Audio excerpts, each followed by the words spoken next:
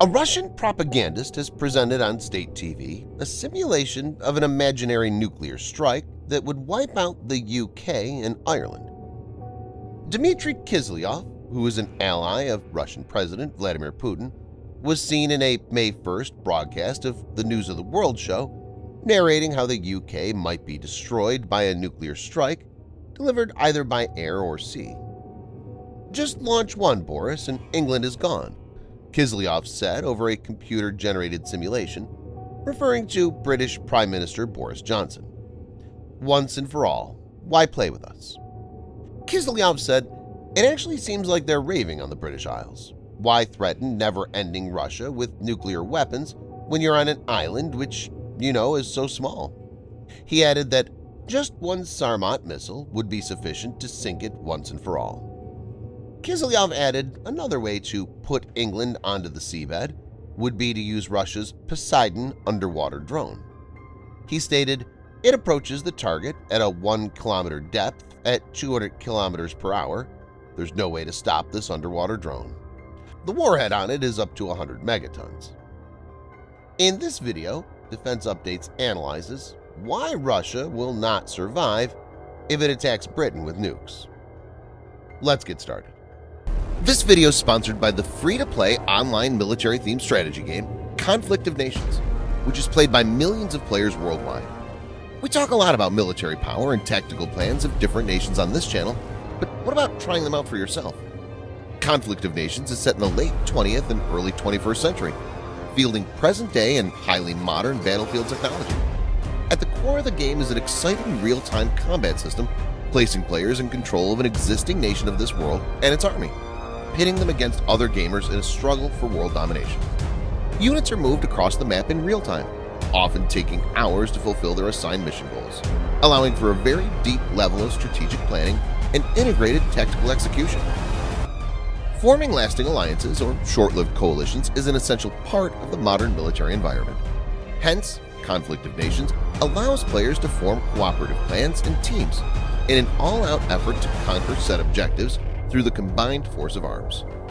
Conflict of Nations can be played in PC or mobile. So why wait? Register yourself using the link in the description below and get 13,000 gold reward along with one month Security Council membership.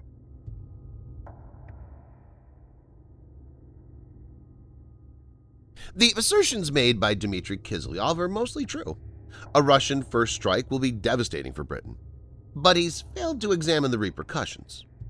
While the Royal Air Force has decommissioned WE-177 free-fall thermonuclear weapons in 1998, and the country does not have any land-based nuclear-tipped missile, it does possess ballistic missile submarines. Though a nuclear strike will annihilate Britain, it will not be able to cripple Britain's lethal undersea asset, the Vanguard-class submarines, meant for deterrence and second strike. Nuclear-powered ballistic missile submarines are the most survivable nuke delivery option. While a first strike might wipe out a country's land-based missiles and nuclear bombers, it's very difficult to track a ballistic missile submarine patrolling quietly in the depths of the ocean, and it's almost impossible to take them all out in a first strike. The Vanguard class of nuclear-powered ballistic missile submarines was introduced in 1994 and includes four vessels.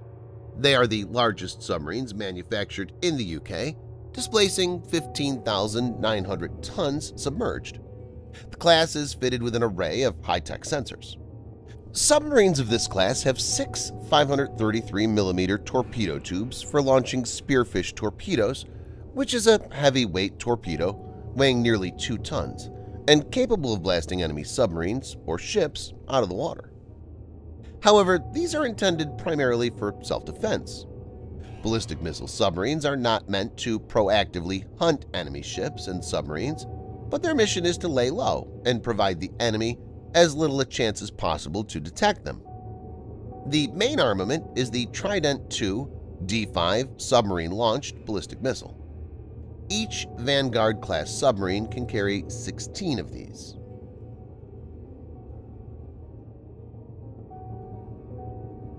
Trident II is developed by America's Lockheed Martin Missiles and Space.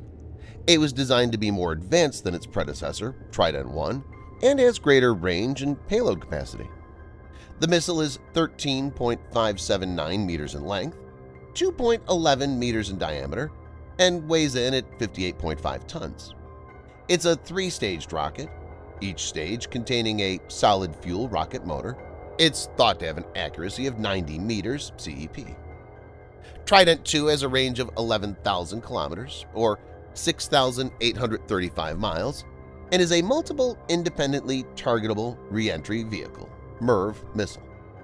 Each Trident can carry up to 14 W-88 475 kiloton warheads or 14 W-76 100 kiloton warheads.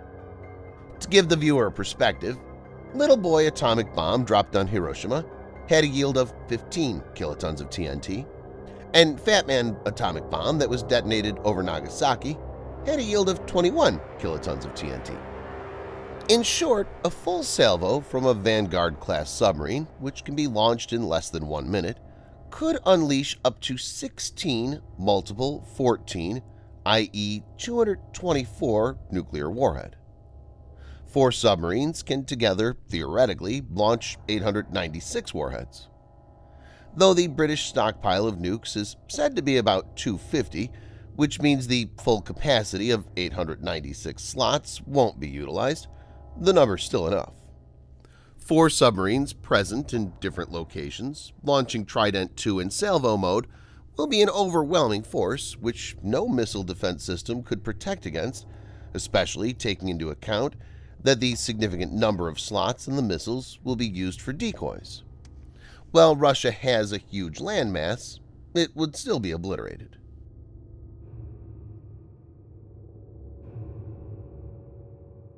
Dmitry Kiselyov has failed to take into account MAD principles.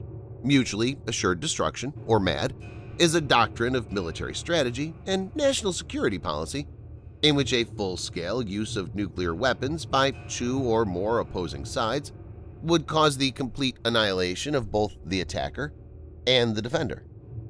It's based on the theory of deterrence, which holds that the threat of using strong weapons against the enemy prevents the enemy's use of those same weapons.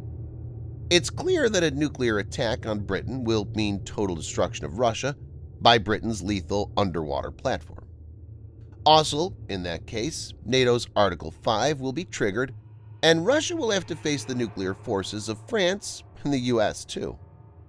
Dmitry Kiselyov should know that no one will be the winner in a nuclear war between two major nuclear powers. Thanks for watching. Subscribe for more videos like this. Hit the like button if you find the video interesting, and kindly provide your feedback in the comment section. This will help us improve.